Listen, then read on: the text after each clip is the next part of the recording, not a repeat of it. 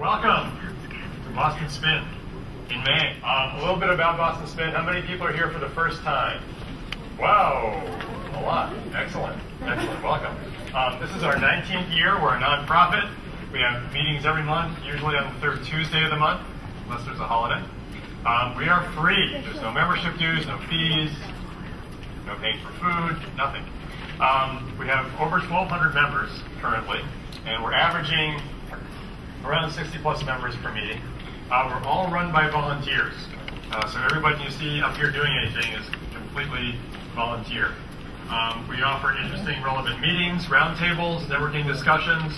Uh, there's a free online job board if you're looking for uh, a job or you're looking for someone uh, for your company. It's free to post there and free to uh, to peruse it. Um, no advertising, no sales uh, of any kind uh, at the meetings or using your email addresses or anything like that. Uh, we offer good snacks, good conversation, and hopefully, uh, hopefully fun. There are 40 U.S. spins uh, all over the U.S., and uh, often we get solicitations from other spins. If you're traveling to Philadelphia, Los Angeles, wherever, there, there are spins out there as well, and they certainly welcome people from the Boston spin. Uh, internationally, there are over 78 international spins. So if you're traveling internationally, you can visit a spin uh, probably where you are at that location as well. And if you want to find out about the spins, you can go to the SEI website uh, the, uh, at CMU. These are some of our volunteers. Uh, we have, uh, no, I should be putting this in a slide, shouldn't I? There we go. Um, I knew I was missing the bouncing green ball. So anyone you see with a green dot on their name tag uh, is a volunteer. Uh, so if you have any questions, you can come talk to us. Um, I'm Barry Mirror, the chair. Carol, Amita, Jim, Maria, Paul, um, all elected officers. Uh, we have a number of appointed officers as well to work on programs, uh, roundtables. Um, I want to point out a couple of things. Uh, if you are interested in providing a program or interested or have an idea for a program, um, can, Michelle is actually not here tonight, but you can talk to any of us about your ideas, suggestions. Um, roundtables are run by Russ, um, who is retiring from roundtable duty this year. So if you're interested in uh, helping to run roundtables, uh, please talk to one of us and let us know. Um, also, we're looking for someone to help uh, Famita. Famita is actually taking over publication of In the Spin. So if you're interested in working with her on publishing the newsletter, uh, let us know as well. Also, we want to thank uh, Ethan for volunteering for refreshments. Uh, so he's bringing refreshments for us, and Marilyn Santiesteban, who's our nominations chair for this year. Speaking of, no of, of nominations, uh, we have annual elections at Spin. The elections will, are held in June of every year, uh, so there'll be elections next month. If you're interested in running for any of the offices, um, please let any one of us know um, or email us uh, from the website if you're interested in doing that. If you're interested in finding out what uh, the uh, obligations are of each one, uh, you can find that on the website, or again, talk to us or email us. So, as I said, we're always looking for uh, new members of the team. Anyone, refreshments has been filled, nominations chair will be filled as well. If you're interested in newsletter or, or helping out with the roundtables before the meetings, please let us know. Uh, we have a website that tells you all the information about Spin, meeting announcements, our newsletters, job postings, that sort of thing. Now, email registration, uh, there are two different lists we have. We have regular Spin membership, which is you only get information about the meetings and our newsletters. That's it, nothing else. We also have an auxiliary uh, email, which is called Spin Plus. And if people in the community are interested in sending things out about certain conferences or meetings, they will send to Spin Plus. Or if you're interested in uh, signing up for that, you can do that as well. So this is what our website looks like. And to join the regular Spin mailing list, only for meeting minutes and in the Spin newsletter, um, that's here. And if you're interested in joining uh, in the uh, Spin Plus mailing list as well, that's uh, over on the side of the bottom. Um, your emails are never sold. We're very conscientious about keeping them private. Uh, we're just having discussions about that just now. Um, you'll never get any advertisements or anything uh, from joining Boston Spin. Um, we would like to thank our sponsors. Our hosting sponsor is MITRE, and they are fantastic, giving us this, this terrific room every month to meet in. So thank you very much. Um, uh, Sam and Chris. Sponsor, Big Visible Solutions, who provide agile solutions uh, in the Boston area. We have a broad offering of public classes, training, consulting, etc. Um, thank you to Big Visible for being our premier sponsor. Uh, we have other sponsors as well, um, Rally Software Development, Chaco Canyon Consulting, the Turnkey website, Campaign Monitor, and of course, Domino's Pizza. I'd like to thank them as well. Please turn off your cell phones, small children, noise-making devices, anything you have. That's to not interrupt the meeting. Um, we'd like to thank our roundtable facilitator for today. Um, topic was requirements tracking, magic, magic and myth. It was Stephanie Beach. Where is Stephanie? We have a certificate. Uh, next month, uh, in June, on the 21st, we'll have Capers Jones, uh, uh, speaker. We're lucky to have him come here. Um, talking about software metrics, we're not exactly sure what yet. So watch your email and we'll be sending that out sometime. Tonight's program, Transitioning to Scrum. For those of you who mentioned remember the wide world of sports from days gone by, the thrill of victory and the agony of defeat uh, from Michael de la Maza. So I'd like to introduce Michael.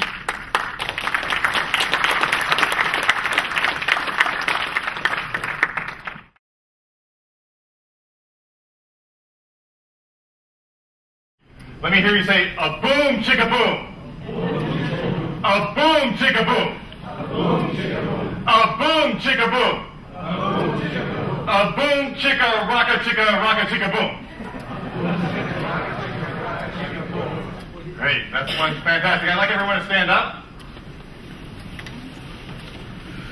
And I'd like you to think of a number between 1 and 10. Think of a number between 1 and 10. All right. Just lock it in. Now find three other people who thought, who thought of the same number. Just go ahead and do that. Find three other people who thought of the same number.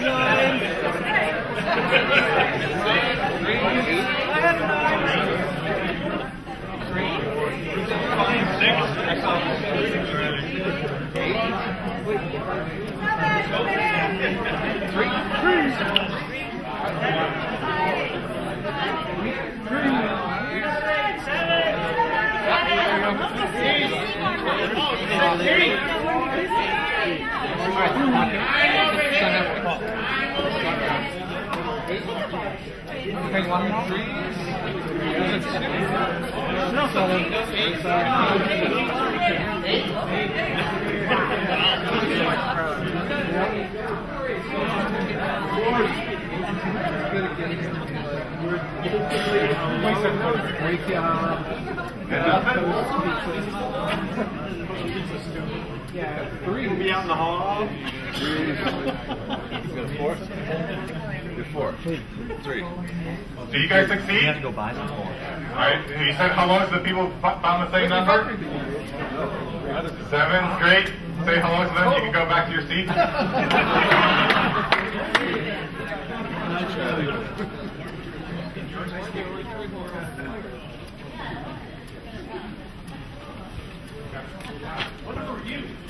What number was I? I was two.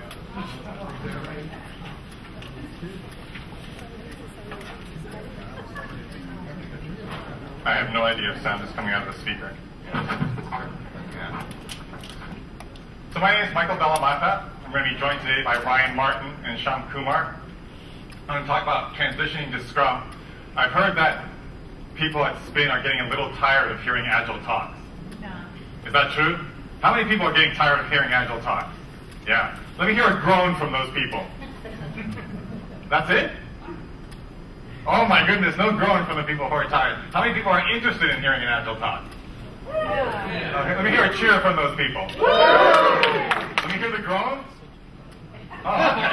All right. Then I'll go ahead and give the talk. So I'm going to talk about my experiences as a Scrum coach. Um, these are my experiences, personal experiences. These are not recommendations or thoughts for you to follow. Just my experiences in being a Scrum coach over a period of about almost three years as an independent coach and then two years before at a company. I'm going to divide those observations into two parts.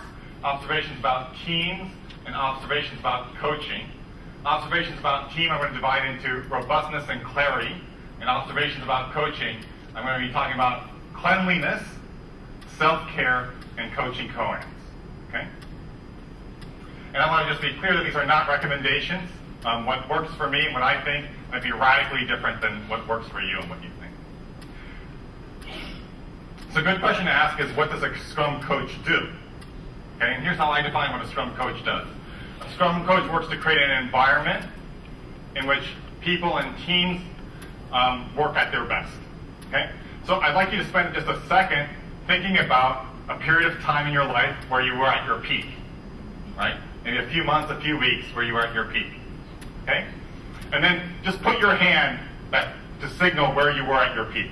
Just put your hand where you signal where you were at your peak. Now put your other hand where you are currently. Put your other hand where you are currently. And just look around the room, right? Look around the room. Right? So wherever you see a gap, right? That's a difference in potential. So this is very interesting. Two gentlemen here. Look at Joe. He's way up here on his peak performance and way down here in his current state. Your thoughts, Joe?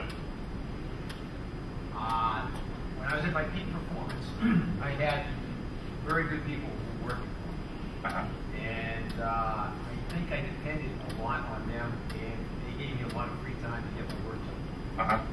And I think I have less of that right now. In fact, I'm responsible for more of the day-to-day work than I used to be. Instead of getting out and seeing people, I'm doing a lot of management. And my time is uh, become a little bit more limited. So I'm not performing as effectively as I used to. Right, right. Fantastic. And David, you are right there. You are at your peak. I am. Yes. Your thoughts on that? How much time do you have to hear this? Um, how much time would you guys like to give him? Three minutes. It has a lot to do with expectations. So when I wake up in the morning, I am at my peak. The reason for that is I may not have a good memory as I did yesterday. so the definition of peakness depends upon expectations. Okay, fantastic. Does anyone else want to comment? What? Yes, you want to comment? How did you know which of the first guy's hands was his one hand and which was his other hand? Oh, because I said the peak is the peak and the other one is the current state. The peak is always going to be above or, yes. Yes, yes, yes. Good question. All right, so what a Scrum coach does is it helps people uh, create environments in which people at work can operate at their peak. So what's interesting to me about that is that we're not talking about improving skills necessarily, because you've already done it, right? It's just about spending more time there. And what's really interesting is that even though there's a fairly wide dynamic range in personal performance, there's an even wider range in team performance. Okay? So when teams are operating at their peak, it's almost always the case that they become world class, sort of in an absolute sense. Okay? It's very interesting. So in very short periods of time, that these environments are created, a team that is so-so muddling through can go from that state to being not just much better than it was before, but much better compared to just about everyone else, in particular its competitors. So here's the value that I think this talk is going to have um, for you guys, and I'm going to check to see if this is actually true. How many people here know what velocity is? And how many people have seen a talk like this and seen a real velocity chart in those talks? Yeah, a lot fewer hands. So I'm going to show you some real data from real teams that I've coached, okay? It looks very different than the stylized stuff that you see. How many people know what a bug is? How many people have seen a bug analysis of a Scrum team? Yeah, a lot fewer, okay? We'll also do a few exercises, and then we'll get an experience report from a professional uh, software developer who's been on multiple Scrum teams. That's Ryan Martin. So very different perspective, right? I'm a guy who goes around trying to sell you Scrum, right? Ryan doesn't care about selling you Scrum. He cares about doing work, and he's been on multiple Scrum teams, so he's going to give you that perspective. And then also a perspective from Sham Kumar, who's a, currently a Scrum Master. So I'm going to start off by playing a little tiny game, the telephone game. Does anyone know what the telephone game is? Yeah. What's the telephone game? Oh my goodness, the guy gives me the conclusion before explaining the game to me. Yeah, okay, so I'm going to whisper into someone's ear a message, and that person's going to whisper into someone else's ear, and we'll do that throughout the talk. And at the very end, I'll ask what the last person heard say, okay? It's going to run as a background process. Are you guys okay whispering things into each other's ears? Okay, that's okay? Minor culture? That's okay. Okay, I'm going to start over here. Are you okay?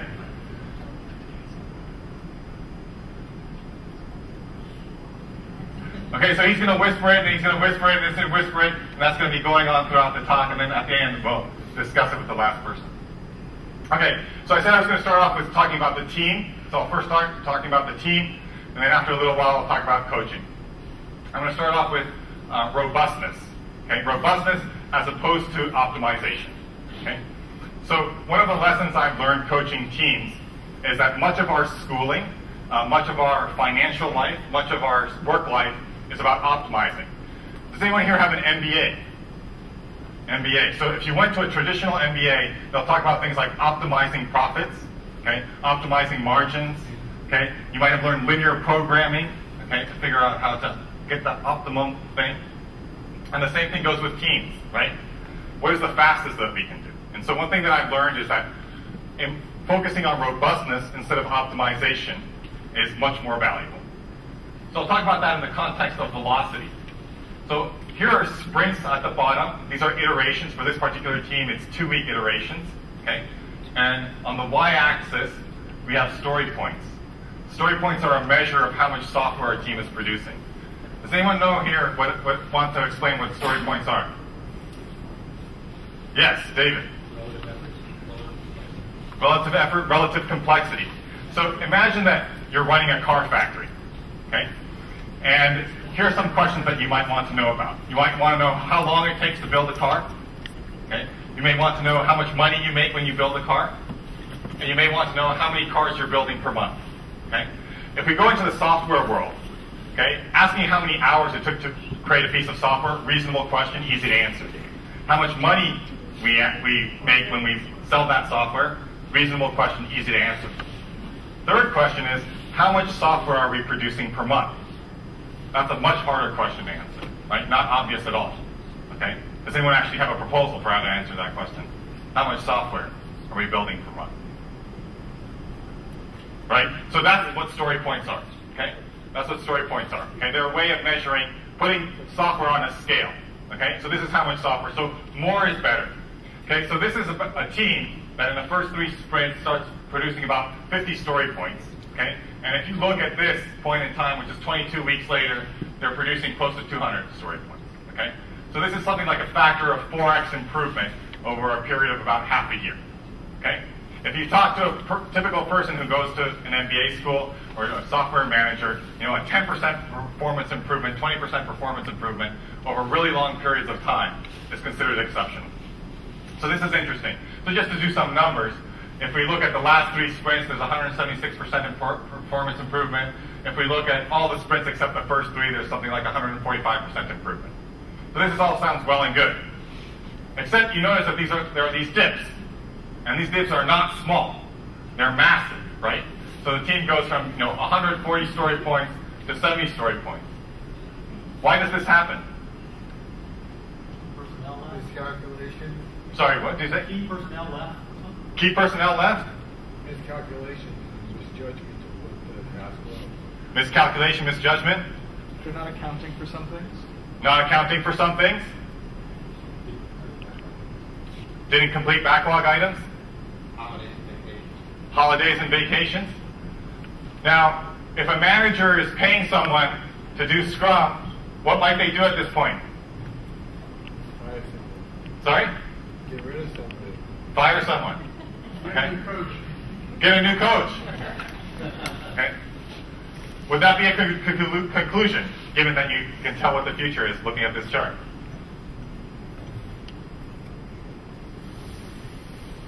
Right? So here are some of these reasons for this spikiness, right? Holidays, sick days, vacations, promotions. How about rebuilding machines? How many people have ever known a developer to spend a day or two rebuilding a machine? Yeah. Only a day. Yeah. Or two. So I actually track these things for one team, and what I discover is that every single sprint, every single two-week period, one of these things happens. So these are not exceptions or occasional events. They happen all the time, right? So what that means is that if I'm trying to create a work system, right, I better create a work system that's robust with respect to these things, right? Because if I don't create a system that's robust with these things, with respect to these things, I'm going to get shredded every two-week period of time, right? These are not nuclear bombs that happen once a lifetime. These are things that are happening every, er, happening every time. Right. So these things happen, and they cause all sorts of variants. Right. Exactly. Yeah. Coach, can I ask what a superficial retrospective is, please? Oh, what a superficial retrospective is. Yes. So first, what's a retrospective? Does anyone know the answer to that? So a retrospective is a point in time at the end of a sprint. Typically a sprint is two-week period of time. Sometimes it can be one week. Sometimes it can be four weeks. In which we look back and we ask how we did. The technical team asks how we did. Okay? And often they're structured by asking three questions. What went poorly? What can be improved? Okay? And what went well? Okay? So a superficial retrospective is we go around the table and each person says one sentence. Right? We don't drill in and find the root cause. Right? We don't say, oh, the problem is that two vice presidents hate each other, and so we can't get our work done. Right? We say, you know, the coffee was too hot. Right? That's what a superficial retrospective is. Here's a whole bunch of data from a team. Okay, I said I was going to show you bug reports of an actual team. So these are bug reports. This is bugs per story point and bugs per user story. Okay? So you see massive fluctuations, right? And this sprint, the team, at least by this measure, produced 10 times as many bugs as in the previous sprint. Right? And so you see that all around. All of these things show lots and lots of movement up and down. Right? Lots and lots of spikiness. Lots and lots of volatility. Right? So I want teams and I want systems and I want a way of thinking which is robust with respect to this. Okay? So as a very simple rule, okay, here's one thing that many Scrum teams will implement. Oh, thank you so much for that sound effect truck factor. Okay? The truck factor is how many people need to be run over by a truck okay, for the team to be in trouble. By the way, are we still whispering? Really? It stopped? Who's the last? Is it still going? It stopped the shot? You didn't get it. okay.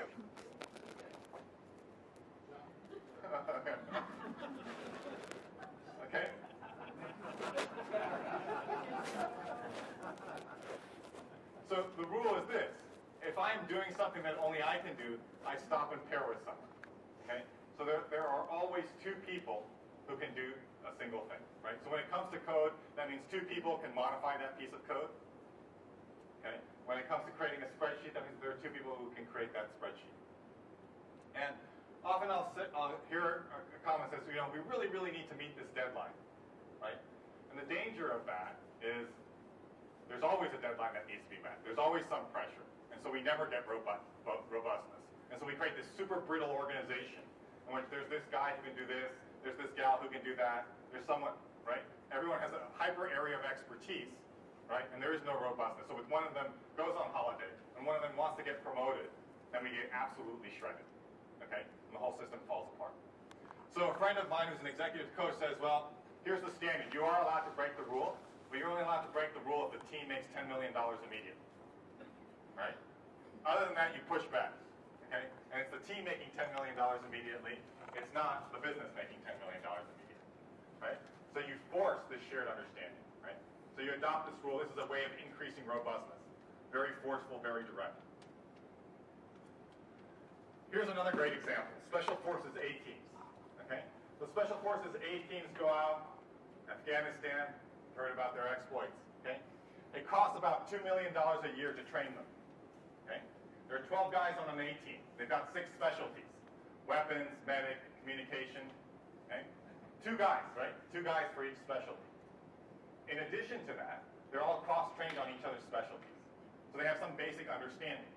Right? So what does that mean? If a firefight breaks out, does the medic sit on the side and say, I'm just going to hang out here until one of you guys gets injured? right?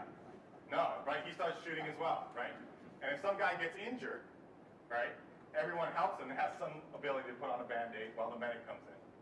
Now that first example, these examples sound sort of funny, but how often does this happen on a team, right? There's some database, and only the database guy can touch it, right? So if the database thing is the most important thing that the team has to do, and that guy's on vacation, right, we have to all sit around, right, while the firefight is going on, and we're getting shredded by management, we're getting shredded by competitors, right? Instead of actually being able to pick up a gun and shoot back, right? So it's very interesting to me that this extremely high performance team which has basically no bounds on how much money it can spend, right, chooses to be organized in this way, right? Two guys per specialty. And I'll note that I think this would be a very interesting experiment for someone to perform. You know, 12 people is approximately the right size for a team. You know, imagine having a team which has, you know, two UI people, two database people, two front-end people, two back-end people, and they all have cross-training with each other. Okay? That's a thought for how to organize a team. And it's a team that would be extraordinarily robust in the face of all sorts of circumstances. Yes, David?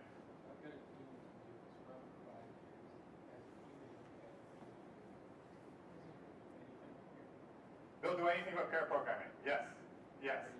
So pair programming is the practice of sitting down on one keyboard, okay, with two people, and you switch, okay?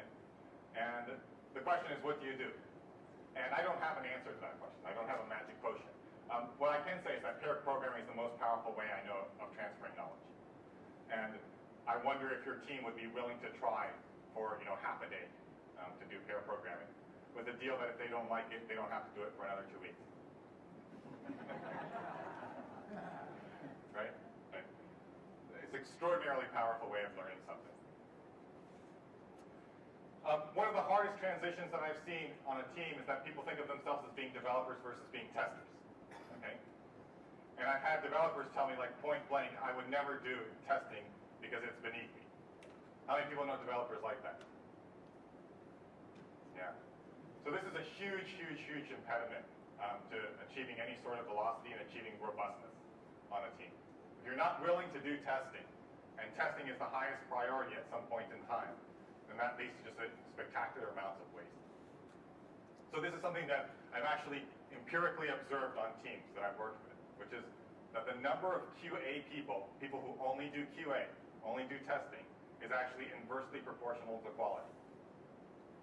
That's frightening. How many people here are QA people? Right? So that's what I've observed on the teams that I've been with, right? If you've got five people who are QA only, 10 people who are developers, versus a team in which there are 15 developer testers, on average what I've observed is that the 15 developer testers will do much, much better than the ones in which are split between two parts. Okay? Does anyone want to argue with me about that?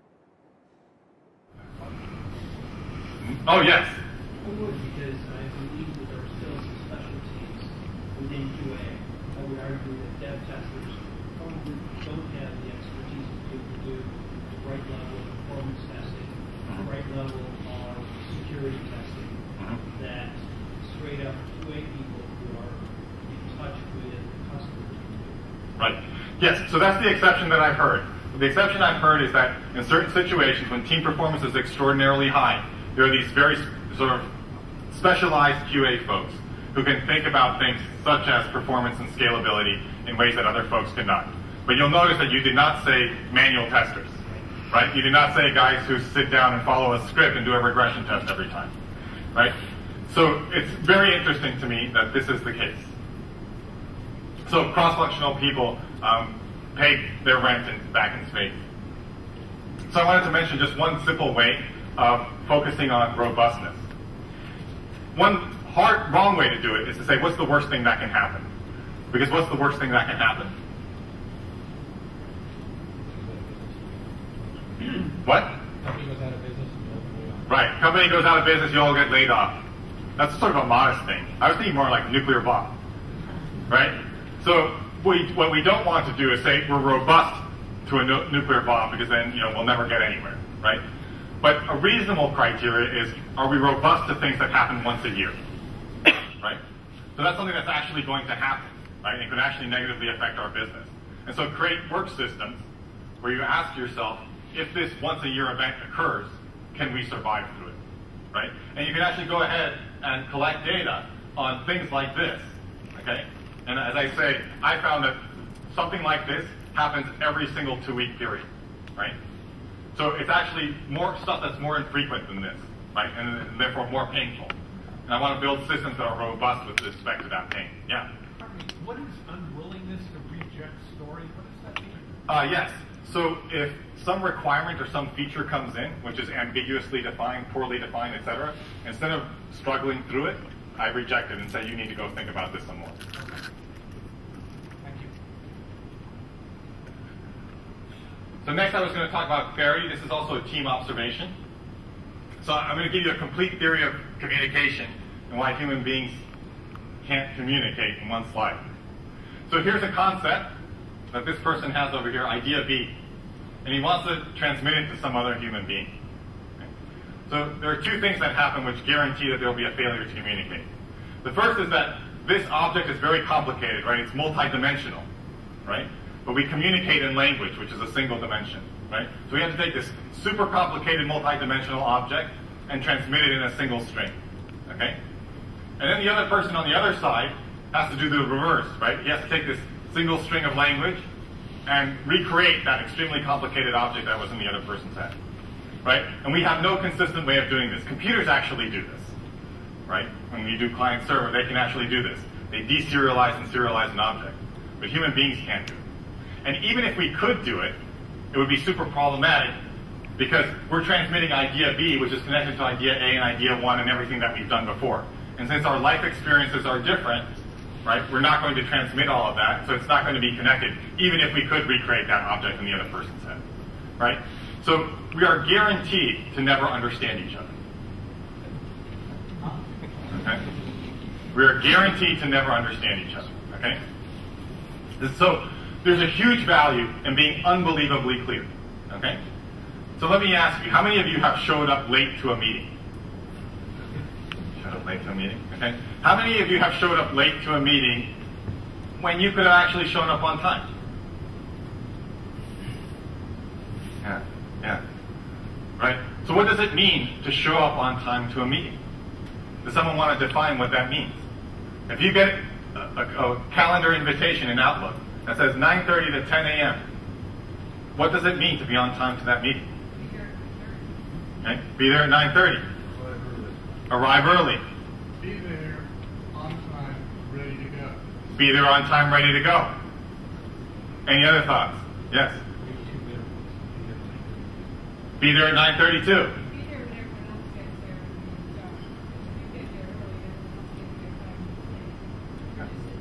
Right? Be there when everyone else is there and the meeting starts. How many definitions are we up to? Okay? Five definitions on what it means to be on time for a meeting. Right? And this causes massive amounts of friction, right, in a company.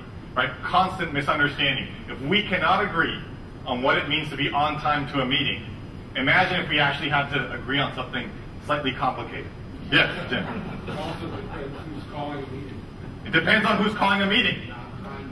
Yes. The definition of time depends on how much money the guy who called the meeting makes. Yeah. Or if you could dial in. Or if you can dial in at the same time, right? You can be on time because you're on the phone. Okay? So clarity. Here's it, here's how it works in the places where I coach.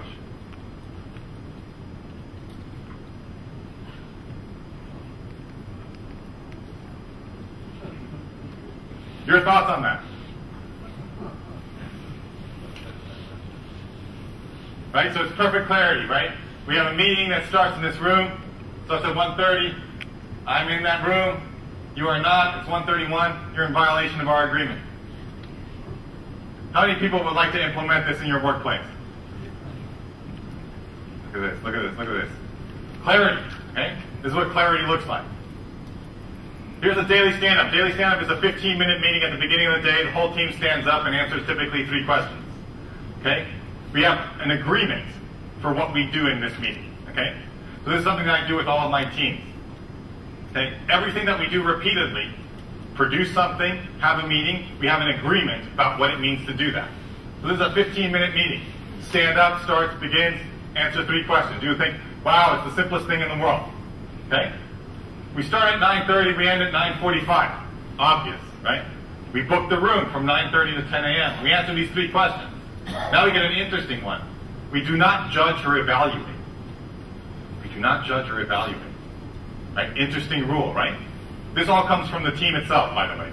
This takes about an 80 minutes to, took about 80 minutes to get this down. Okay? Just a collective discussion about what it means to have an excellent meeting in the morning. Okay? Do not judge or evaluate. That actually came from someone who felt that he was being judged and evaluated all the time in his 15 minute meetings. Okay? He was an engineer who thought that the product manager would show up and tell him what he was doing right and wrong. So he put this rule in. Okay? I asked all the members of the team from one to five to explain how happy they are. This guy instantaneously went from a one, like almost quitting the company, to a 3.5. Okay, because of this one, two, three, four, five word rule. Okay, that's one of the things that clarity does for you. And it just goes on and on and on about like that. Okay, we talk on the Polycom when it's available. We set up screen sharing with this thing. Okay, so we have this sort of agreement for every meeting that we make and every product that we create, everything that we do repeatedly. Okay, so there's crystal clear understanding of what it is that we're doing. Commitment. So at the beginning of a sprint, a team commits to doing so much work. Okay, in this particular case, there are these numbers that refer to these things, right? And we don't just sort of say, hey, is everyone okay with this? Right? Because then what happens? What happens if you say, hey, is everyone okay with this? Yeah. People nod without really having their hearts in it, right? And so we commit, we explicitly commit, right? We make a handshake agreement, right? We type it in and we say, I commit to doing this. This is at the end of a three hour meeting, which we've been discussing what we're going to be doing for the next two weeks. And here's what's fascinating to me. After all of that, there's one person who thinks that one of the items may actually not be met, right? So if we were just asking people in general and having people nod up and down, right, that guy probably would have nodded up and down. And now we see that there's a disagreement. And then we can refer to this, right? We can say, oh, we as a team have a collective agreement to do these things, right? These are the simplest possible things, right? You say, wow, agreeing to what we're going to do in the next two weeks. And this sort of thing happens all the time. Engineering practices. How many people here are engineers? How many people here know an engineer? Yeah. Okay. So there's this practice of building the software, okay? Collecting all the little bits and pieces and producing a build that someone can actually use, okay? These are three or four top-notch developers. These are all senior developers or architects. They're all chatting about some build that they're doing, right? And at the very end, someone says, how does one define incorrect build? Right? So this sort of thing, this understanding is happening all the time in companies, right? What do you mean by this word that we're using all of the time? Right? So just very simple things. Let's define what we're doing. Let's define what good looks like. Let's define what a beginning of a meeting, what the end of a meeting looks like. So I'm going to now turn it over to Ryan. Okay, Ryan is an experienced developer. He's been on multiple teams. I wanted him to give you his perspective on this because his perspective is radically different from mine. And I thought that you guys would appreciate hearing from him. It's going to be very tough to follow his enthusiasm and his energy. I have to work with him every day, and he's always like that, which is excellent. It's good, but it's going to be tough for me to follow him and have any confidence doing so. So I've worked at um, my last three companies. We did Agile in all of them, and I have three very different experiences between all of them. Um, they're all in this area. Uh, if I said the names, you would know all the companies. They're pretty successful companies, around 200 people in each one of them, and they all make around 75 million a year, give or take. So the first company I worked at, I brought Agile in, and uh, I wasn't asked to do so. I just, you know, heard about it, started reading about it, so I brought it in. Probably wasn't the best, most, you know, strict way to do it, but I, I wanted to make an attempt at it, and I brought some other stuff in, uh, continuous integration, so the engineers here probably know what that is. So the problem that I had right off the bat was we only had three people on the team, and I found out right away doing agile with three people does not work. You really need a product owner, you need a QA person, a couple engineers. You, you need to have a team. So having three engineers do it wasn't really productive. It was actually counterproductive. We had a lot of times doing meetings and meeting up, and we all sat right next to each other, so it was kind of pointless. So that was my first experience, but uh, it, it, got me hungry, and I, I noticed a lot of good things, so I liked it. So from there, I ended up leaving the company, which I loved, because I wanted to learn more about Agile. So I went to a company that was strict Agile. Ken Schwaber uh, came and taught the whole company Agile, and he's actually one of the inventors of Agile. So I was excited to go there and um, learn from Ken Schwaber and a company that's been doing it for like three or four years uh, quite successfully. So my experience there was horrible. And the problem was the team was all about doing Agile. They did everything correctly, followed it right to the letter of the law. The problem was upper management wasn't on board. They weren't doing Agile. So when we did, when we said commitments, and we said we're going to bring in, you know, all these stories, after two weeks, if we missed on a couple of them, upper management was mad at us. We never once got all the stories done, and it was very difficult. You know, one thing I could say to you is when you leave here, tell me what time you're going to get to your front door to the exact minute. Is anyone here going to be right? So how do you want me to tell you after, you know, three, four weeks that I'm going to get all of this work done with the uncertainty that comes with engineering? So we're always in trouble, but we still did agile, you know, as a team. And what I learned there, and I loved, was the camaraderie. You know, you either succeed together or you fail together. So that was a great thing. The team all really, stood, you know, stood up for each other. We would help each other out. We would work over the weekends just to help someone else out, so someone else, you know, would get their work done. So that was a good bonding experience, and that was another stepping stone in Agile that I really enjoyed and I want to continue doing. So those are my first two experiences. One, team was too small, wasn't really a team built for Agile. So three people probably doesn't cut it. And then the other one was upper management wasn't on board. So if the company's going to do Agile, I think everyone really has to be on board. Otherwise, you're, you're not going to be successful and you're not going to be happy. So now that brings me to the company I'm at now, which is extremely efficient, effective, very productive. Um, we're doing Agile. Management's on board. Uh, Vice President, 100% all about Agile, and CTO, and everyone's on, on board with it. So right now, those tracks are showing you is the company I work at now. We're just produce, producing code unbelievable. And, and, it really is because of Agile. And I, I, think it took a while for us to get there, as you saw at the beginning to the end. And it is a process and it takes a while. Um, the one thing I think that helps us be successful is all the engineers on the, on the team have 10 years. So we're all very experienced.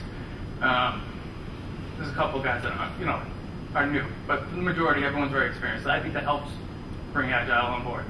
Um, we do have distributed teams, so our, our, our, QA testers are over in Kiev. So that was a learning process, and that took a while for us to be able to integrate them into the Agile process. So there's been a lot of bumps, but we've learned to integrate it and fix, and the retrospective helped with that. So at the end of two weeks, what, what's not working? Well, the Kiev team's not really involved. We feel like we don't even know who they are. They don't exist. They send us emails saying something's broke. So we fixed that.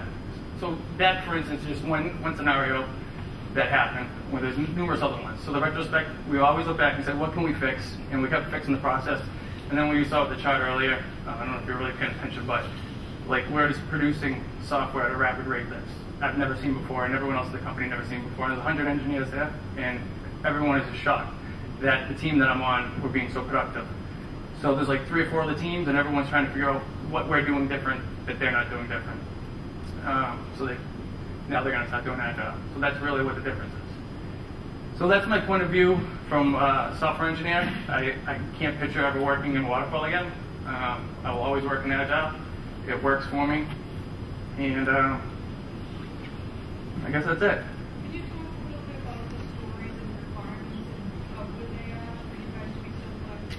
So that's a great question. And the fact that we have a very experienced product owner who writes very descriptive stories and the use cases, uh, they're crystal clear, um, helps. So if we have something that was a lot of ambiguity and a lot of gray area, we could waste days and days and days building something that was incorrect. So I think it's very important whether you're doing agile or not doing agile or doing Kanban or lean, having a product owner who gets it and who writes the proper user stories. So that's one of the reasons why we are so successful is because of our product owner writing the correct use cases and user stories. Why do you think the experience of the engineers matters? And given that they hadn't done Agile before? Right. Why do you think that that's a factor? So other than what Michael's been speaking about, in my mind as an engineer, there's a lot of other things that come with agile development, not just Scrum, continuous integration, um, code coverage, uh, all types of testing. So there's a lot of best practices that I look at as an engineer that fall under the agile umbrella, um, test-driven development, behavior-driven development, all of that stuff. And we brought all of that on board, and it's helped the team out tremendously. So looking at it from an engineering point of view and a technology point of view, other than just the Scrum stuff, which is the process, that Mike was speaking about, that stuff is great and that helps. I look at the other tools and try to bring it all in, and you really need, they're all going to be experienced, but you need a good, a good amount of them to be experienced, because everyone has to be able to pick up right away. Then we don't do a lot of training, because training can slow you down.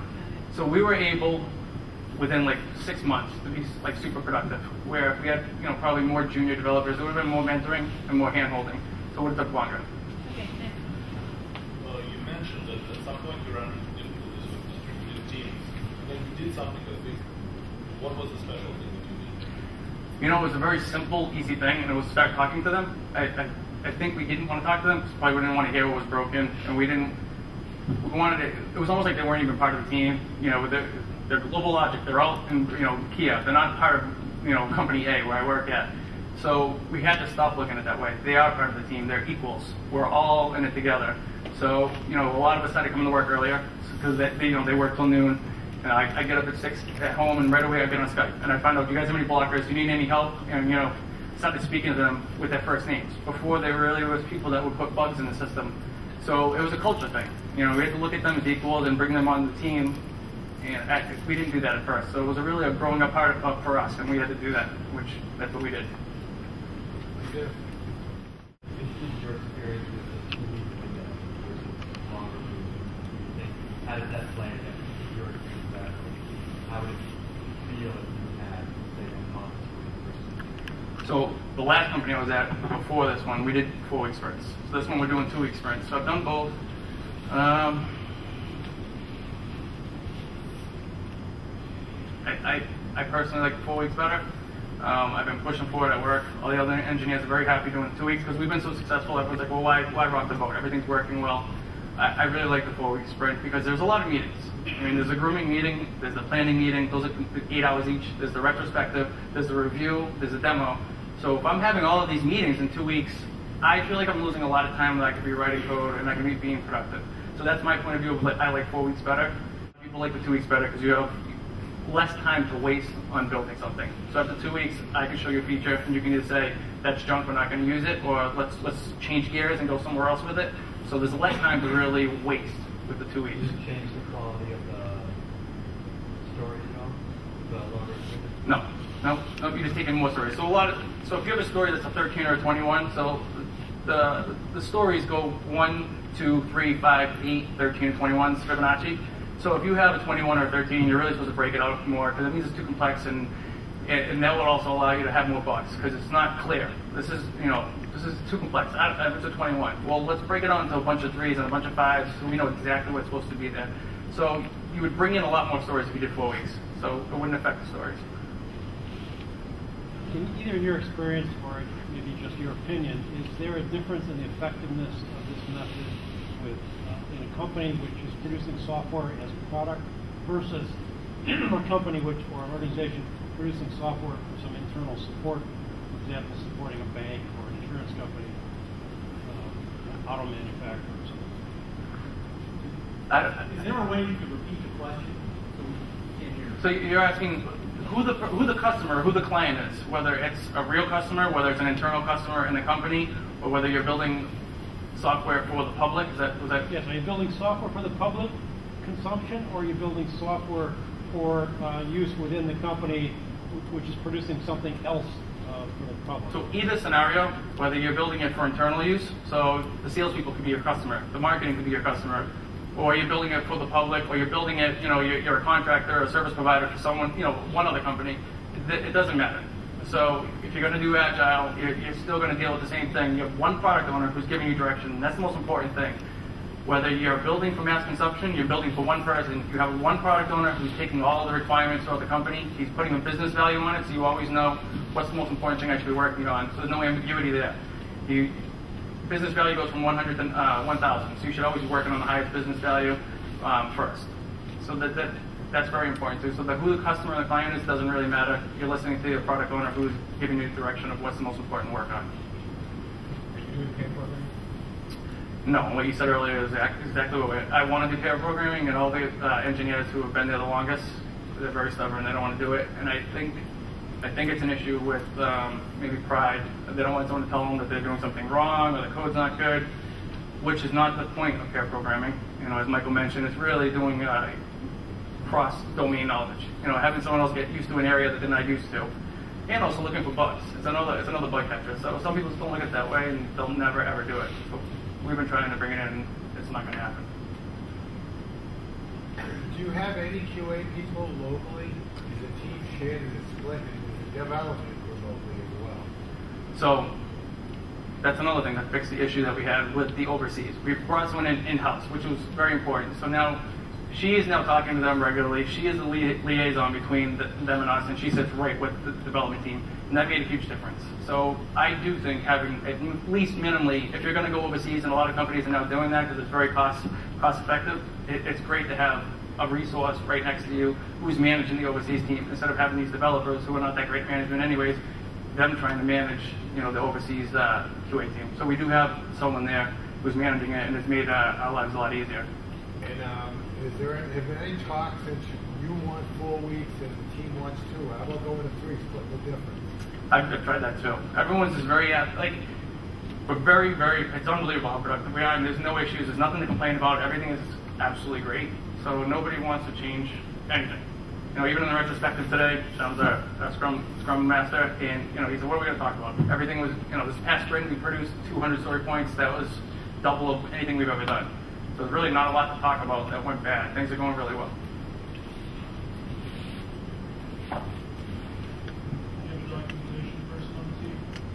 Uh, we have a technical writer. Um, so I, I, believe in doing documentation functional and technical. One thing I've realized is right after I write it, about a week later, it's outdated.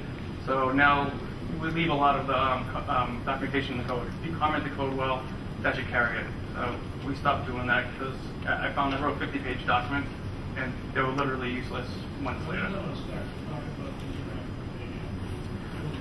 So we did hire a um, technical writer who, who was, yeah, for the customers, so they know how to use the software and what we're building. Yeah. No, they don't. And that's actually a good point. We probably should stop bringing them in. Uh, I think it's at a different phase of the product. So when we get closer to the end, that we probably end up bringing him in, letting him listen, and we show the demo. This is what's built. But I, I do think he's getting direction from the product owner also, so he knows what's being built all along. He's probably writing all along, so that's probably why he's not showing up. But it wouldn't hurt. Definitely be good to make him part of the team. What's the size of your team? Team's pretty big, and that's another issue we're having. It's, it, we keep hiring, which is great. Company's doing well, so the team's up to like 13 or 14. To get really big, so our 15 minute is now 45 minutes, and daily stand up is getting too big. So I think we're talking about splitting the team up now and have two teams. So that will be something to try to. There'll be obstacles there. We have to overcome them and you know, tweak it and make it optimal. But to split the team up, it's too big. So it's 10 local and four kit. Yeah. Uh, you know, I'm going to let John go, and if anyone has any questions for me, I, I'll answer all of them. A sense of the fact that it's high performing is not good enough. Uh, I had to validate that for myself. So I had uh, multiple ways of validating that. One was, uh, you know, this. Uh,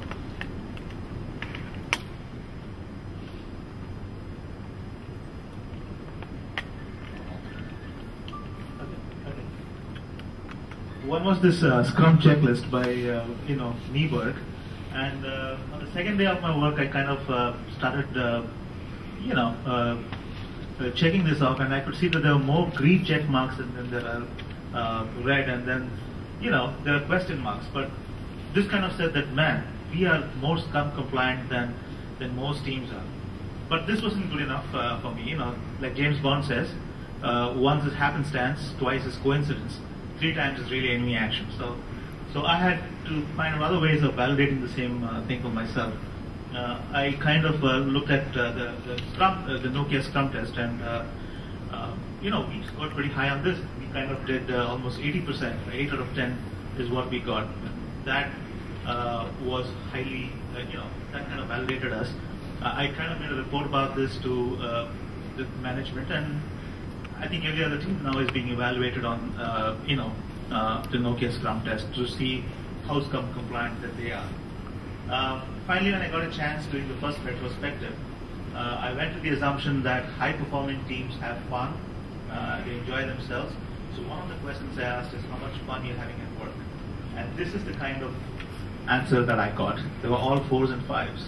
And definitely more than the average of, uh, you know, between four and five. So uh, a very simple, very innocuous question kind of validated the fact that these guys are having fun.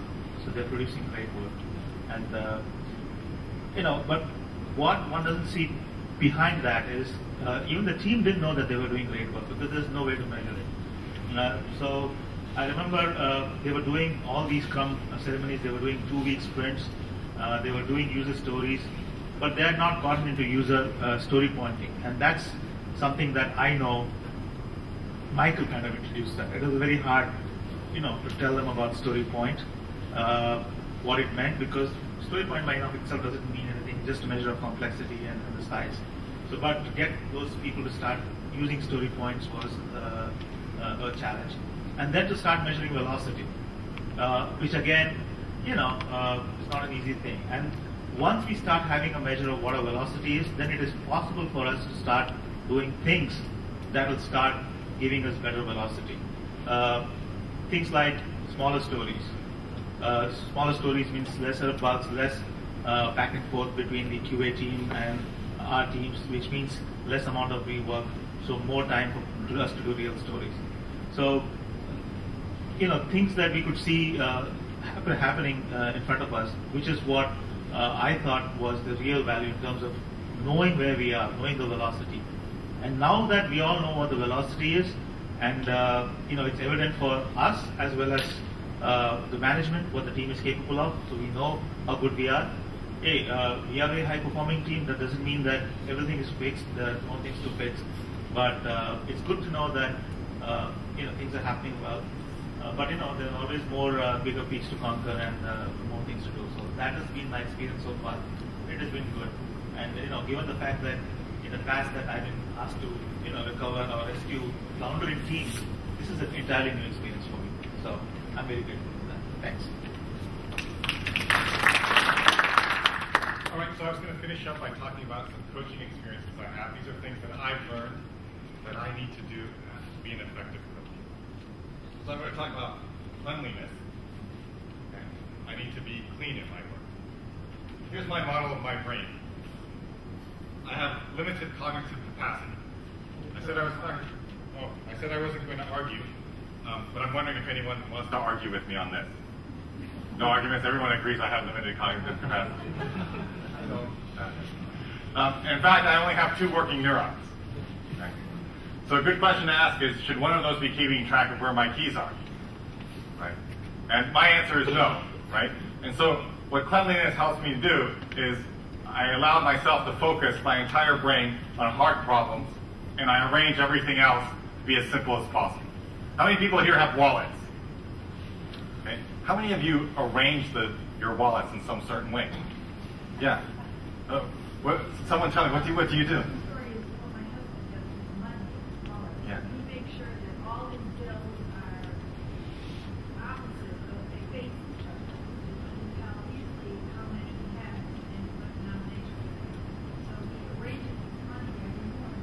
Yes. How many people do that? Yeah.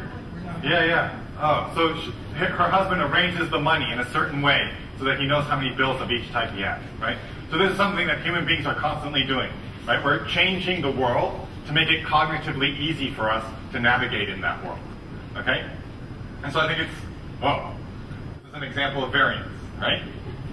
Yes, David. Cognitively easy or easier? Easier. Thank you for the correction. Yes. So as easy as possible, right? We're constantly doing this. We radically prefer uh, making things easier. So here are some of the things I do. Inbox zero. How many people know what inbox zero is? What's inbox zero? Gentlemen.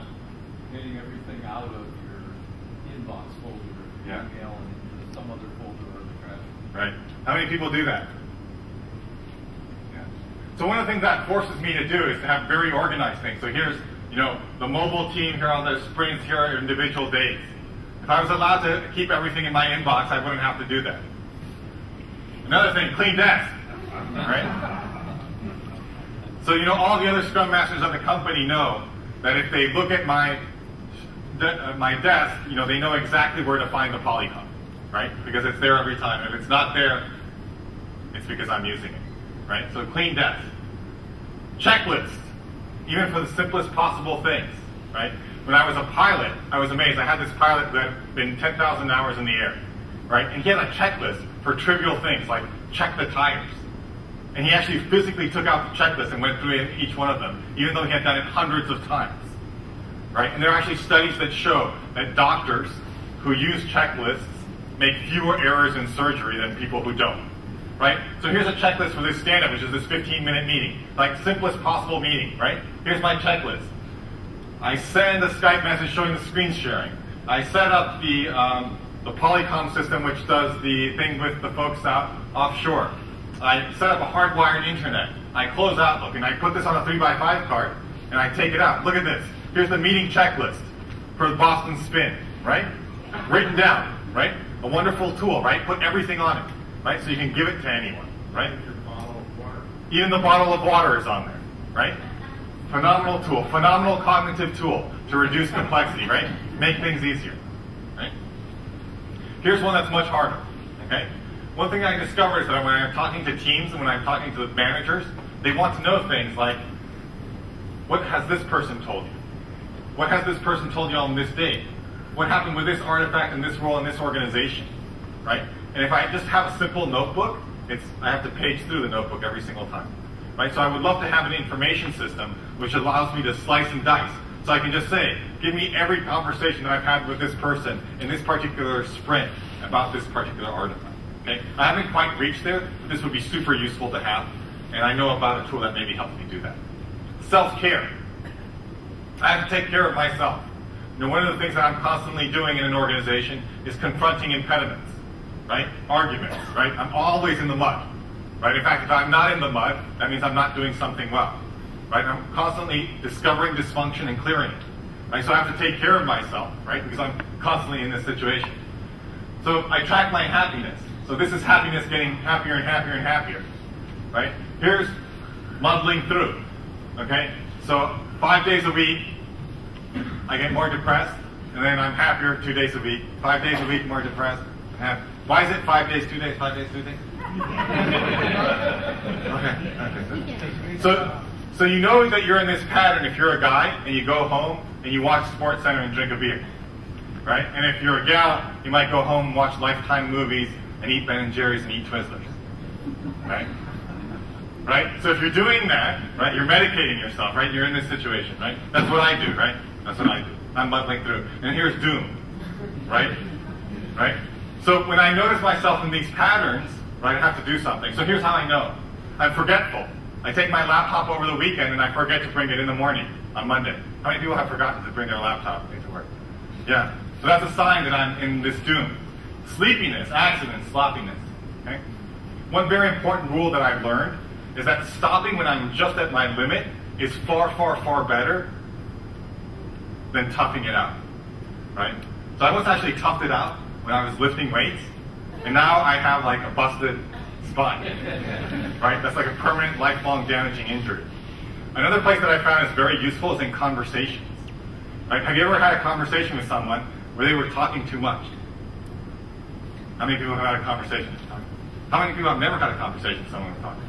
Uh, okay? And so here's what I found in observing myself is that I, there's a point at which they, I feel like they're talking too much, but I just sit there and listen to them. And finally, I'm so irritated that I have to say something, right? And it's much, much better for me, much better for the other person, if at the moment that I reach my limit, I say, "You are speaking more than I enjoy."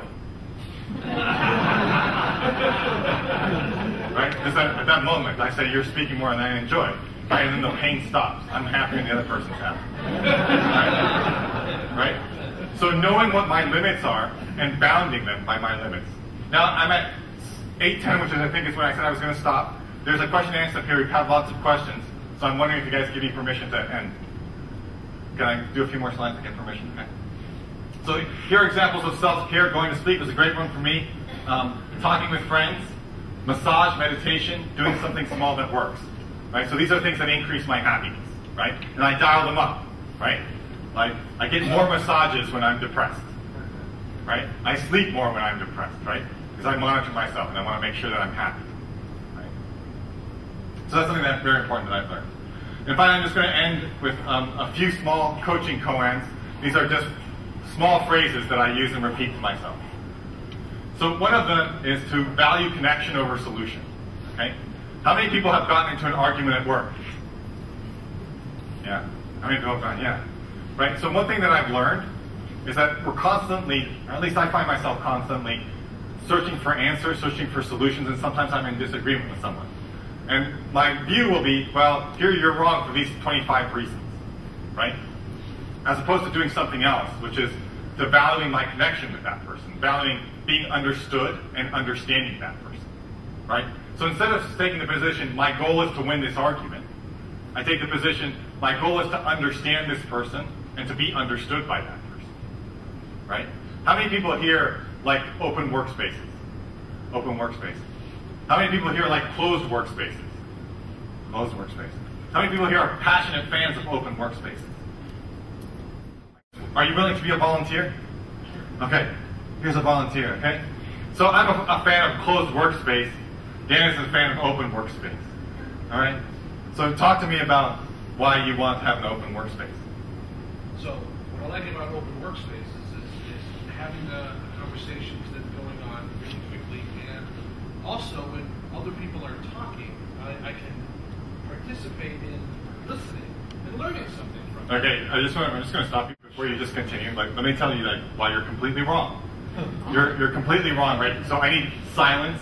I need peace. I need quiet. I don't want to be listening to anyone else. Okay? They disturb me. I have to work from home. It's a horrible idea to have a workspace. You're just so stupid. You just don't understand the way people work. Right? This interaction is offending me right now. so, but are you actually uh, knowing what other people in the room are doing, and are you learning from that? Because that's what, what I get. You know, we don't go so all, all they do is interrupt me. Okay, stop talking to me. let's, let's try it another way. Okay, let's try it next. We're going to rewind. We're going to rewind. Yeah. Why do you like open workspace? So again, I like open workspaces because uh, I, I get to hear what's going on and get a lot of information through osmosis. Right. So what I hear you saying is that you really value communication Right. and collaboration with other human beings. Mm -hmm. You do this presumably because you want efficiency in the workplace. Right. Okay? So you notice a completely different tenor of those two conversations, right?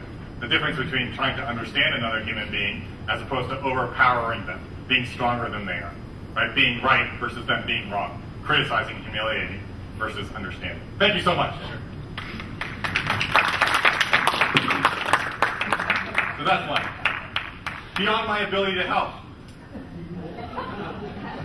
Okay?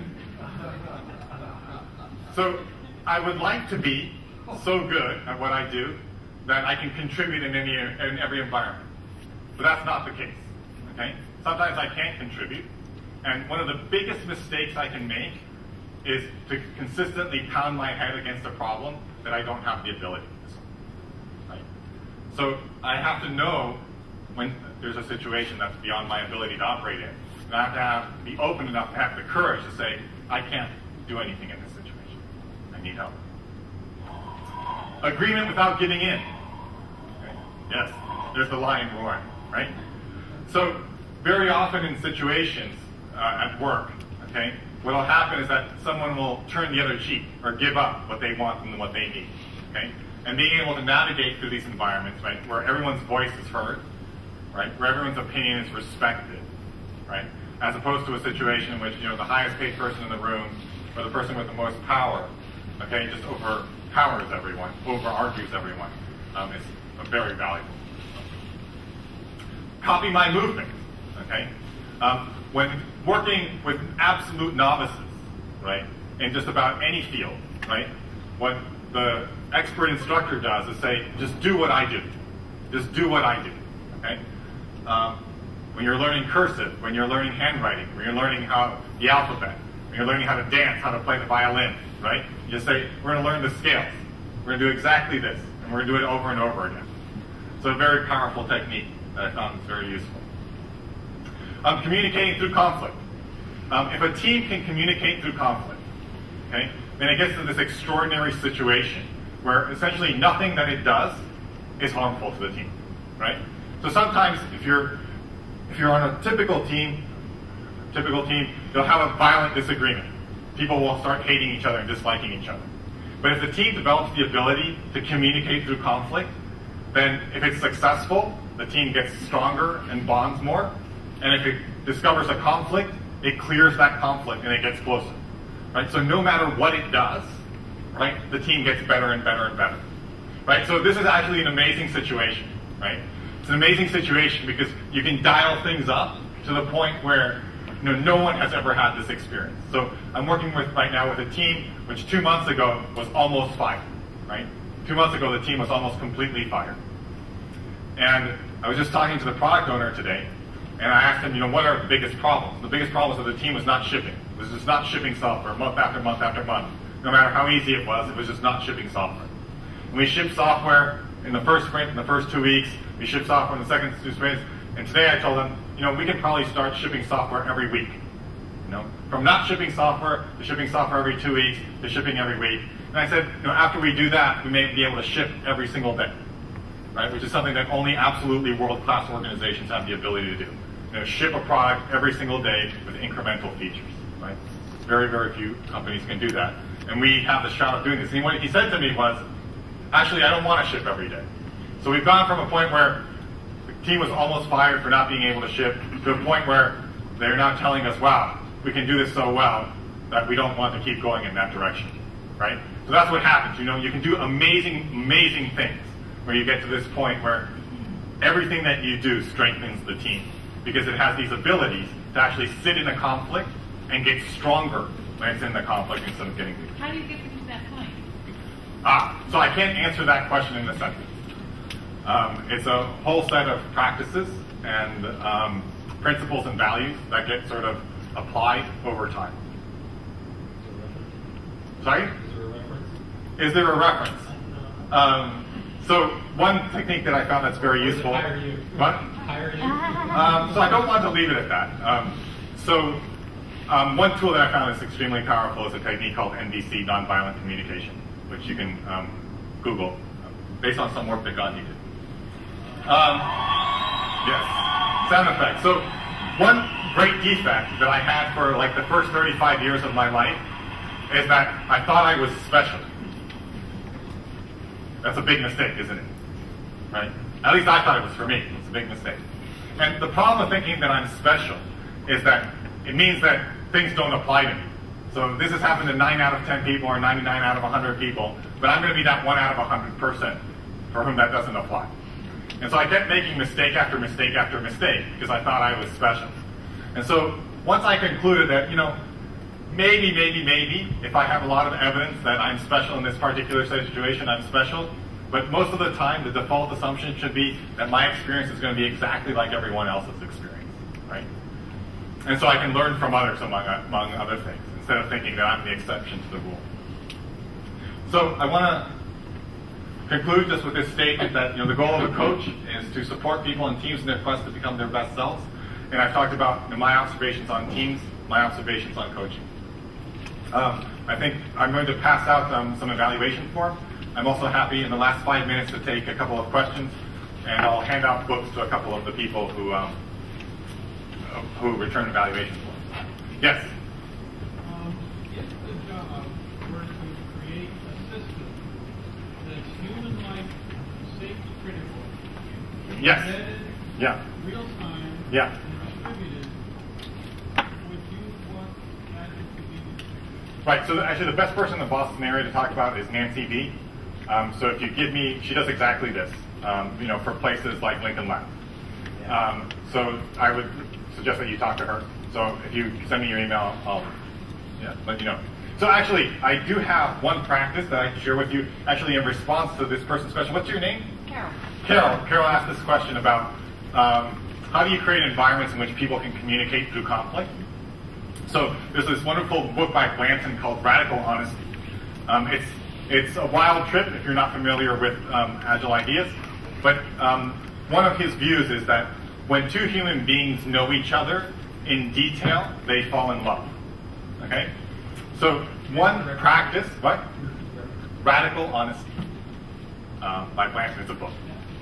So here's a four-minute practice that I'm going to suggest that we try now. If you try this with every single member of your team, my experience is that um, you'll radically improve team cohesion bonding. Okay. So here's the you pair up with someone. So go ahead and pair up with someone.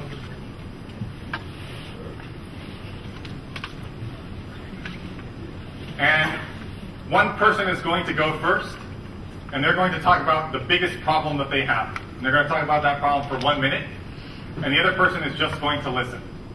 Okay? You're just going to listen. You're not going to try to solve the problem. You're not going to be thinking about solutions.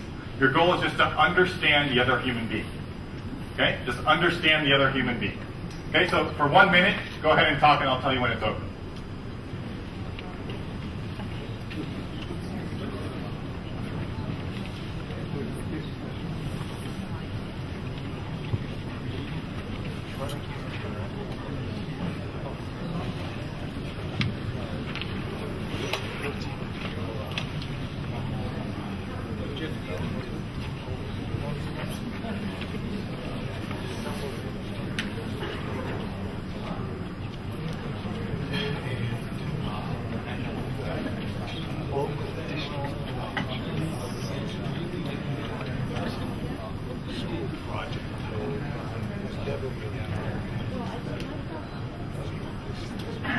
Fifteen seconds.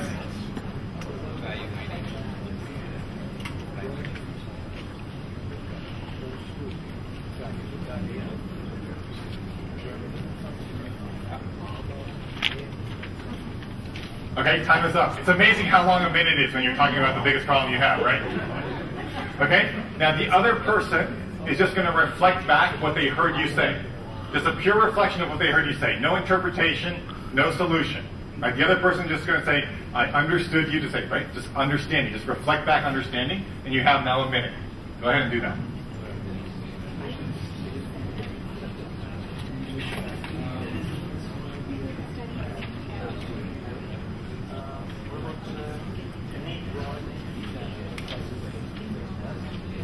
So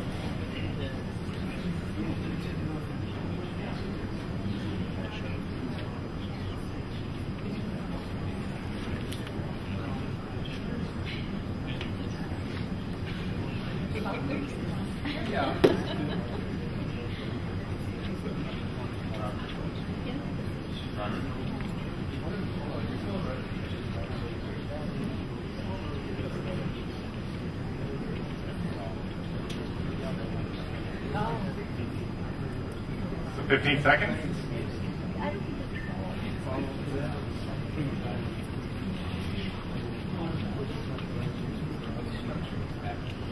All right, so that's time. So raise your hand if you were the person who um, just explained the problem, who, who spoke first. And keep your hand up if you feel that you were understood. Right? And keep your hand up if you felt that you were understood in a way that you were not understood at work at any time. Today, you know? Right? So it's just very interesting. And then you would switch, right? The important thing is to be completely silent while the other person is speaking, right? And to focus 100% on understanding, not solution, right? Just understand the other human being. Right? So that's a technique that you can use. If you do it with every pair of people in your team, and you do it every day, you know, just a four minute exercise, you would switch after this, of course. Um, it'll be um, almost certainly a radical bonding experience. So thank you very much, and thank you for Spin for inviting me. What happened to telephone? Oh, the story, the story. Oh, yes. Thank you so much. So who was the last person to hear today? Here, Here? Okay, so what did you hear? Today is a good day to talk about Scrum. Today is a good day to talk about Scrum, okay? So what I said is, today is a wonderful day to learn about Agile principles and practices. When do you pick up, you pick up? Okay, so two books. These are. Um, oh, okay. Oh, we have we have many books. So you, you have more, even more prizes. Oh, okay, even more. Okay. Okay, so. Oh, okay.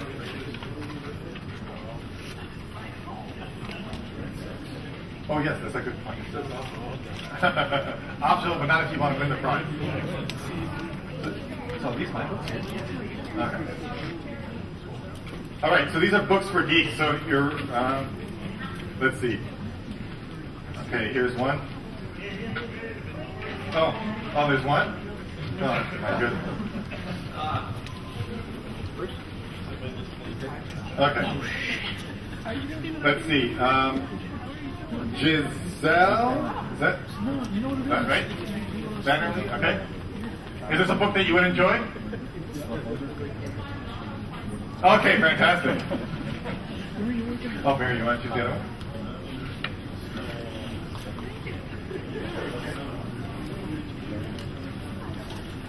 Okay, um, Jim Simak. Right, Jim. Thank you so much. Michael, thank you.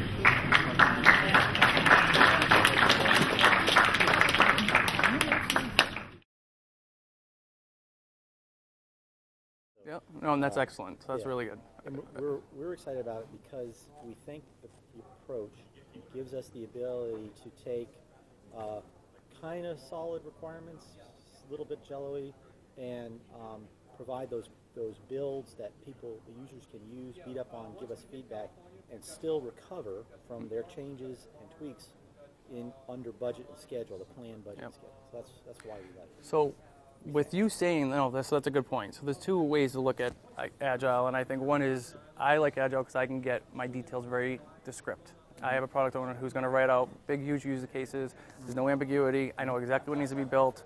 So hopefully you're not building anything that A is not going to be used because there's business value on it, and B you're, you're not going to waste two weeks building something that is wrong. So, but what you're using it for is also a, you know, a great use of Agile, and that's let's build some prototypes. Let's build this, let's see if it's useful, and if it's not, we only wasted two weeks, maybe four weeks building it, we can recover. We didn't waste six months. So that happened a lot of my past jobs before I did Agile. I would build stuff for six months, and then all of a sudden it was never used again because someone in marketing thought it was a great idea for me to go build some crazy tool that they thought would help them that they never used. So classic waterfall Yes. puts you into that trap all the time, and we're trying to get away from that. Yep. So you, what you guys are using it for is actually very helpful, and it's going to help you guys uh, be more productive and less waste. Definitely. You know, what I, what I what I'm encountering though is we're kind of having to take these classic waterfall design requirement documents and and try to parse them into bite-sized iterations that can be done with So- sprints. That's kind of a challenge. It is a challenge, but once you do it and once you figure it out, it's going to be unbelievable. You, you got to figure that out. So you want to break down. You don't. So the user stories, you know about the Fibonacci. You do 1, 2, mm-hmm. 3, 5, 8, 13, 21. Mm-hmm. If you have a 13, that's too much. You need to break that down even more. So if you have these big complex use cases right now, they're probably all 21s, and they probably could even be higher. You're mm-hmm. looking at these things and saying this is crazy. Gotta- Agile is not going to be helpful there. What Agile is going to help you do is look and say, this is too much. Let's break it down to even more user stories. And you- what you should consider doing, one technique is the Gherkin technique, which is given when then. Given I'm a customer, when I uh, show up on this web page and I want to log in, then I should you know, get a validation error if I give the wrong information. So all the user stories are given when then. Okay. So that helps you, Okay. everyone, business people, the uh, engineers, the QA people, everyone can speak in that language, given when then. Okay. And all user stories can follow fall right into that uh, quite nicely. Okay. All right. Yeah, I, th- I think I've noticed that in some of the uh, User stories. freeware out there that tracks. There's a lot of given when then. Stories. Yeah.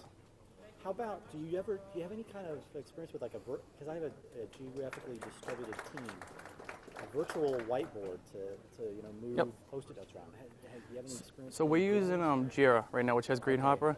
So we have our testers all over in Kiev. So we lose them at noon. So we get in early, and you know they they start at like three in the morning. So we have a distributed team. It's working. It was a challenge. We finally finally got it to work. Yeah. So having Jira, having the Greenhopper, everyone's on page. We can all see each other's progress. We see what's you know to do. We see what's in progress. We can read the comments all along, and we see what's you know what's in done. So it, it's been working quite well. But it does take a, it- it's very difficult doing distributed You're teams. the second person that's recommended Jira. We, we're kind of committed to our.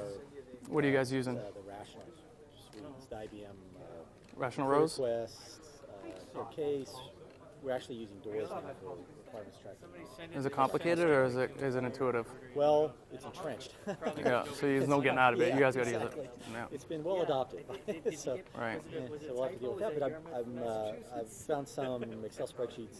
I'm going to try to tweak those. If, unless you said, oh, So- there's a great site you need to go do. Boom. Oddly this, enough, bada bing, bada boom. you can go get a whiteboard, you can, or you can just get a big, you know, on the wall. Take little post-its, and that works great too. As long as you have the work phases of to do, in progress, ready to test, and done. Yeah, yeah, yeah. You can go do it on a wall, and you have little post-its, and you can watch the progress and see things get done. And when something's not moving, that means there's a blocker there, and you guys are supposed to talk about it and say, why is this not moving? Because someone might be stuck and just might not have voiced it, or, or they might be trying to solve it themselves when there's someone else that can help that person move move the process along.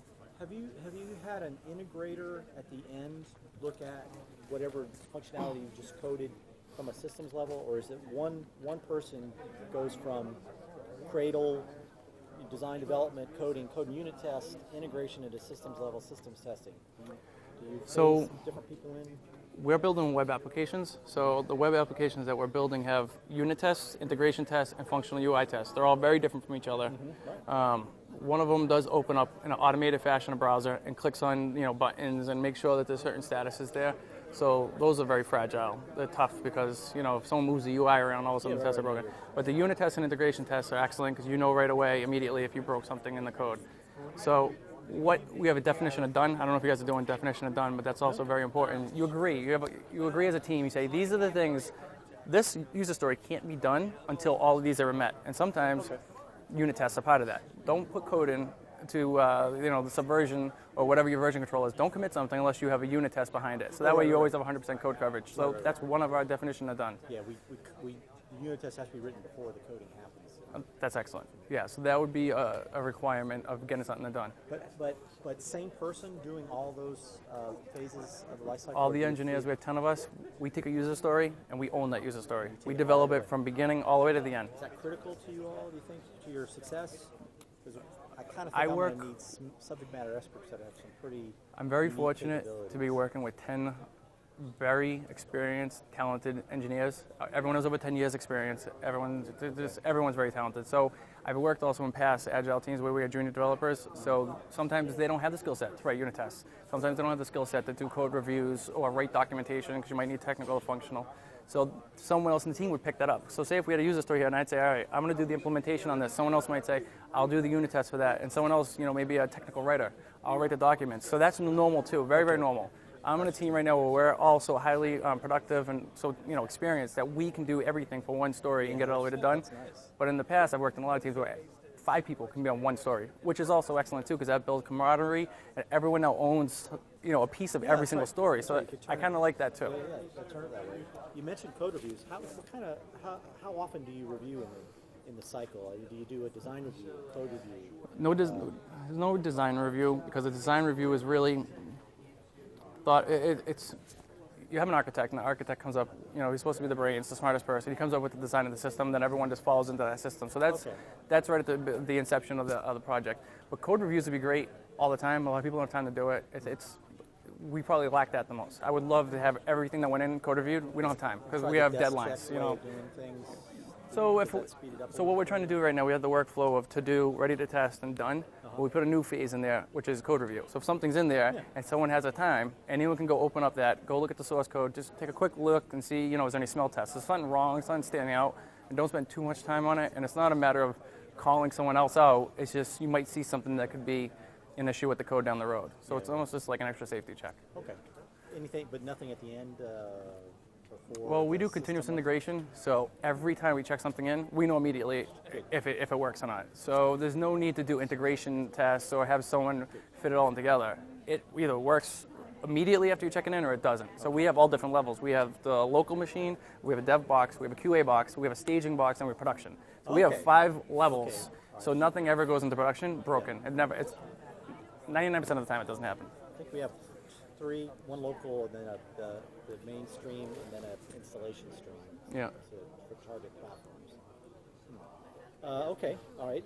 Uh, what do you, why do you do your software engineers prefer agile as a framework within to work, or do people long for the good old days of waterfall? Or what do you- Everyone's different. So I will say where I'm working now, I'm fortunate that uh, everyone's looking at the greater good and they know that agile is the right thing to do. But the people who've been doing this for a long, long, long, time they don't like it. Right. They don't like it at all. Old dog new Database guys hate it. Um, C++ guys hate it because they've been around forever, and it's just not normal. So a lot of the young guys in their 20s and 30s completely are on board. They love it, they get it, and they, they enjoy it. So it's the guys that have been around forever. Um, they're doing it. I know that they're not happy. They think it's a waste of time with all the meetings, but they're important. They don't see it as important. They said, "I'd rather be at my desk, you know, writing code." So, some, so for them, something that, like most IT workers, something that lets them feel accomplishment every day, or every, at least every other day, could maybe start to overcome that feeling of being interrupted for yet another scrum. How about um, do you do do you do any virtual scrum meetings? Do you have people phoned in or videoed in, or a lot of people work from home. Um, so where I work now, the, um, everyone worked from home, all the engineers. So that was the beginning of the culture of the company. Now we moved to a bigger office, so there's tons of space. Yep. So people are coming in more, but a lot of people are still working from home. So everyone Skypes in constantly. We're on Skype all day long, everyone. But the video comp- uh, component is So we have. Polycom too. So yeah, there's a lot of people. So the people over in Russia and well, in Kiev, they Polycom in with us, and we talk to them. We see them, they see us. We're all standing around a table, and we do a daily stand up with them. So they probably come in, and then if someone's working from home, if I'm working from home, I'll video in through via Skype and talk to someone if we have to resolve something. Okay, yeah, we, we might consider using. Uh, that's been a lot of lot of answers. I really appreciate it. Um, I can probably think of other other things, but at, at the beginning of the process, it's nice to know that there are people that are doing this, been doing it for a while, and they're getting success with it. We're, our challenge is fitting it into a, a waterfall, a whole culture that's used to waterfall, not just my engineers, but all my. Have you guys brought someone in to help uh, help transition that process? Because you really should bring an agile coach in that's done it, that's very experienced. So that way you don't.